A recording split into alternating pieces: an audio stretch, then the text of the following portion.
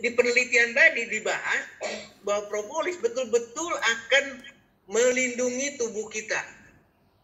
Jadi secara keseluruhan seperti yang ke, tadi disampaikan, ini adalah fungsi dari peran propolis karena propolis akan bisa mengatasi peningkatan permeabilitas sel yang terjadi pada proses asma, bronkitis, pneumonia maupun peradangan yang terjadi TBC akan bisa mengatasi atau akan meningkatkan aktivitas sistem imun.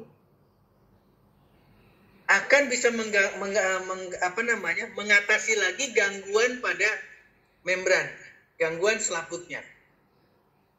Akan bisa mengatasi atau bisa betul-betul e, melawan bakteri. Dan ketika terjadi, ingat tadi baik bronkitis, pneumonia maupun asma, terjadinya kelelahan maka propolis akan meningkatkan kembali. Jadi permasalahan lima permasalahan ini akan bisa diatasi oleh propolis selain sebagai antibiotik, selain sebagai antibakteri. Lanjut, Bu Ali.